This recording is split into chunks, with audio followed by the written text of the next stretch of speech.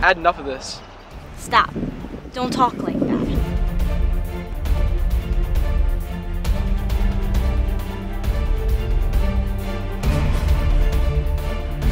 And you said you couldn't stop looking at me. Come on!